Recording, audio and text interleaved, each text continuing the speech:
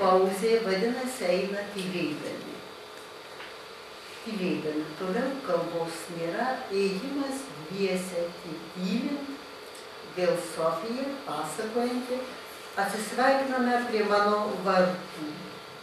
Jis turi dar grįžti ten, davė žodį vakarieniauti kartu.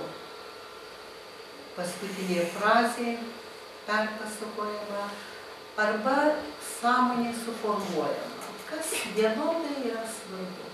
Vienodai svarbu. Mes neturime gilintis, ar tai yra autentiški žodžiai, sąmonės valia, tokios sąmonės, kuri yra dalyvavusi labai intensyviuose dviejų patyrimuose, valia šitą sakinį ištarti. Mėgok ramiai, aš ryte aš ateisiu. Taigi kelias nuo miesto salės, kur buvo vaidinama Slovatskio drama durų iki vartų. Svarbiausi kelio taškai fiksuoti so, Sofijos sąmonėje. Galima būtų sakyti, kad tai yra vidinis ėjimas, kadangi sąmonė nefiksuoja gatvių, kuriomis einama, aplinka nėra svarbi, dar daugiau abudu nėra lygiaverčiai ėjėjai, Konstantinas Sofija veda už parankės. Jis tarsi turi išvesti, galvojant apie vidinį kelią, iš nusiminimo, iš ašarų, kurios kyla ne tiek iš pačios situacijos, kuri atrodo vaikiška, kiek iš būsenos. Būsena, įsimylėjusios jaunos moters būsena yra daug intensyvesnė už pačią situaciją ir ta situacija kyla iš to, kad širdis, jau toliau pacituoju Sofiją, visai paskendus, visai paskendus. Konstantinas parveda iki vartų, kur saugu ir ištaria, miegok ramiai. Pažada ryte ateiti. Taigi ėjimo kaip tapatybės kūne kintančio kinetinio veiksmo fenomenologijoje tas pažadas ateiti yra pats intensyviausias. Ne pats tas grįžimas, bet pažadas ateiti. Arba pažadas, kad kelias gali ir tikriausiai bus pakartotas. Jame implikuotas dvigubas laukimas ir to, kuris eis, ir to, pas kurią ateis. Laikas ne rytoj, laikas ryte. Sofija, aišku, turėjo tai labai įsiminti, kad po daugelio metų kalbėdama, rašydama, neužmiršo to skirtumo, kad ryte ateis tarp ryte ir rytoj. Čia yra dabar galimybių kaip visą tai plėtojasi, kaip visą tai gali pereiti į kūrybą vieno ar kito, bet čia jau suskliaudžiu ir einu prie kitos situacijos. Dar viena situacija ir ji bus iš labiausiai žinomų dar viena ėjimo situacija. Netrukus po antrosios lietuvių dailės parodos atidarimo, gal jau trečią dieną, lankytojams išsiskirščius Sofija ir Konstantinas sėdė ant lango, ant palangės, įsivaizduoju. Konstantinas tyliai švilpauja dainelę, Sofija ištarė. Taip dabar norėčiau muzikos kaip scenoje. Dialoginis, pasikeitimas dialoginėmis frazėmis. Čiurlionio atsakymas, einame pas mane, aš jums paskambinsiu. Kvietimas eiti kartu, kvietimas eiti pas mane, bet dar išlaikant distancijos žymenį, kurį Sofija e, taip pat turėjo jausti jį tiksliai perteikti jums skambinsiu. Turint abiems svarbę dinksti muziką. Ta paroda, antroji lietuvių dailės paroda veikė dabartinėje Pylimo gatvėje, Pylimo 8, jau pavasarėjant 1908 metų kovo pradžioj. Jei sutinkame o neturime pagrindo nesutikti, kad tas tolesnis veiksmas vyksta dabartiniuose Čiurlionio namuose Savičiaus gatvėje, tai kelias netolimas. Ir vis dėlto tai kelias. Išėjome iš parodos, paskui pro rotušės rūmus žemyn, pasukome į siaurą skersgatvį, dabar prašome mintise Vilniečius įsivaizduoti tokį įėjimą. Aš nemoku to parodyti, bet aš pasitikiu mūsų galia įsivaizduoti.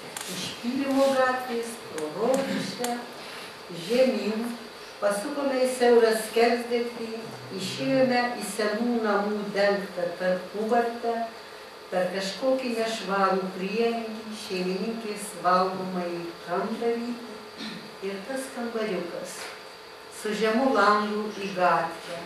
Prie lango stovėjo kanapa, prieš ją palaino stalas, prie sienos iš dešinės pieninas. Iki rotušės kelias dingsta, jis nėra fiksuojamas. Nuo rotušės žemyn jis tiksliai sekamas lyg būtų įpareigota paliudyti mums tą kelią, kad tiksliai tas gatvė, tas namas ir būtų nustatytas. Atsiminančias sąmonė, detalės ryškėja, siauras skersgatvis, senų namų dengta tarpuvartį, du per, du perimai, reikia pereiti per priengį, per šeimininkės valgomai, visa tai dar nėra teritorija, kurioje kas nors gali vykti, jos neįdama jį tik pereina. Ir tada tas kambariukas su žemu langu į gatvę atsiveria. Esi perspektyva, Vilniaus vaizdas, tiksliai to kambariuko nuotraukas sąmonėje. Fenomenologas turėtų klausti, ar žvilgsniui užtenka vieno karto, kad žvilgsnis taip tiksliai, kaip nuotraukoje fiksuotų tos dalykus, taip išliktų. Iš tiesų gali užtekti to vieno žvilgsnio, vieno karto, jei tas kartas yra ypatingo dvasinio intensyvumo toks jis ir yra, bet e, čia yra tik prielaida, greičiausiai tas kartas galėjo būti ne vienas.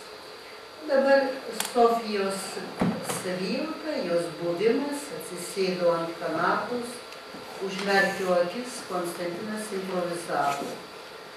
Būsena, užmerkio akis yra tarsi išėjimas iš laiko, laikas teka nebūdamas, nevykdamas, neapimamas, nejuntamas. Paradoksalu, tai yra pats didžiausias laiko intensyvumas.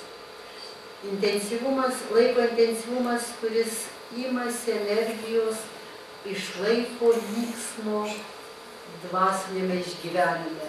Laikas nyksta ir labai intensyvėja.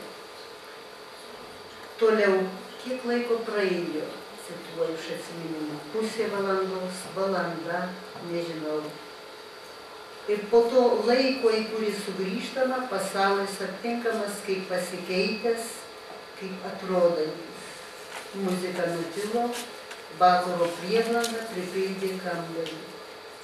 Toje prieblandoje vis dar atrodė man supasi muzikos tonai tada toje pasikeitusioje laiko erdvėje keičiama, keičiama ir erdvė, buvimas erdvėje žmogaus, atsikėliau, neišpasakyta laimė ir begalinis liūdėsys užėmė man tiesiog kvapą. Dar sykį atsikėliau iš vietos ir stovėdama už jo nugaros, ėmiau glaustyti atvoštą galvą ir užsilenkus pabučiavau lengvą išdidžią kaktą. Jis prispaudė mano rankas prie lūpų, jokių žodžių. Riba, kurios nei vienas, nei kitas iš mūsų peržengti negeidė. Didelio atvirumo yra šis tekstas apskritai sąmoniai, kuri ryštasi tokiam atvirumui, yra nuėjusi labai didelį kelią. Ir tik po to, kai tą kelią yra nuėjusi, jau viena įgrįžta, galėdama tą atvirumą liūdyti kaip, kaip atvirumą. Na, tekstas visas yra iš moters iniciatyvos. Lygiai taip kaip Sofijos laiškai, tas didysis kultūrinis tekstas, yra prasidėjęs iš Sofijos iniciatyvos, kai Botkevičinė Felicija paragina parašyti pirmąjį laišką pakviesti Konstantiną į Vilnių. Bet čia būtų kita atsišakojanti tema. Du žmonės junta didelį artimumą, sustoja prie ribos ir ne, negeidžia jos peržengti. Jie tarsi jaučia, turi laiko, laiko, kuris dabar yra sugrįžęs. Jie jaučia, turi kelią, kurį trokšta nueiti. Po trumpos valandėlės realus laikas jau grįžęs į sąmonę, tariau, cituoju man reikia eiti. Konstantino balsas, aš palydėsiu. Ir vėl tekstas ir ėjome be žodžių. Atrodė, kad viskas pasakyta, atsisveikinimas tylus prie mano vartų uosto gatvėje. Uosto gatvė dabar paminklas. Čia yra įdomu žvilgsnį mestelti trumpam į Milošą. Milošas yra paliudėjęs, kad ir jam svarbiausia Vilniaus gatvė turbūt buvo uosto. Ir Milošo atveju yra buvęs tas ypatingas įėjimas, įėjimas dviese, apie kurį jis pokalbyje su Aleksandru Fiutu yra atsisakymas kalbėti, bet atsisakymas kalbėti visada yra tam tikras pasakymas, kaip ir atvirumas. Dabar Sofija grįžta, grįžta po to atsisveikinimo ir ji atsiminimuose sako, kad ji turi surasti lapelį kurį yra parašiusi tada aną vakarą lapelį, kuris liudija apie begalinės laimės ir baisios tragedijos man skirtos nuojautos. Vakaras, dabar aš čia tik grįžtu, Čiurlionis kalba apie dramą, komediją, veikiančiuosius asmenis, įėjimai, žingsniai, atvirumas, būsenos ir Sofijos sąmonėje baisios tragedijos man likimo skirtos nuojautos.